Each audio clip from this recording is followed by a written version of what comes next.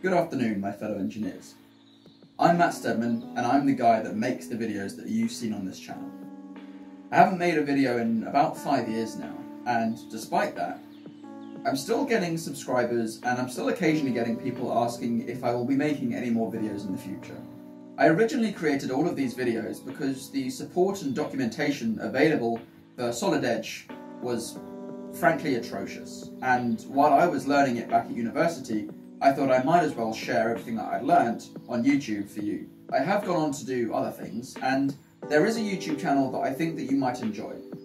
If you enjoy the way that I think, enjoy the way that I explain things, or just enjoy the sound of my voice, then I'm going to use this opportunity to plug another YouTube channel that I've been working on over the last year. The channel that I'd like to plug is my other YouTube channel that I've created over the last year. It's called Two Week Projects.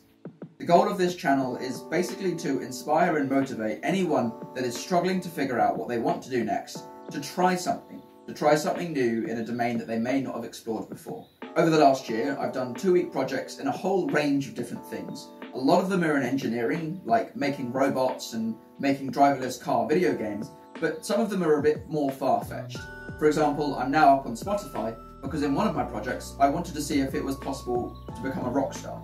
This is a shameless plug, but if you want anything like the tuition project videos that have happened before, while it's not focusing on education, it's definitely got my mentality baked in there.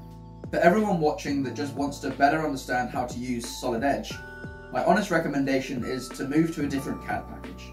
I had to use it at university, which is why I made the videos at the time. But since then, I've much preferred to use SolidWorks, Inventor, Fusion, Creo, there's quite a few out there that you can choose from. Don't forget that on YouTube you can learn almost anything, and I prove that in my two week project YouTube channel because of the amount of stuff that I've been able to learn and do in the last year. Until then, keep learning.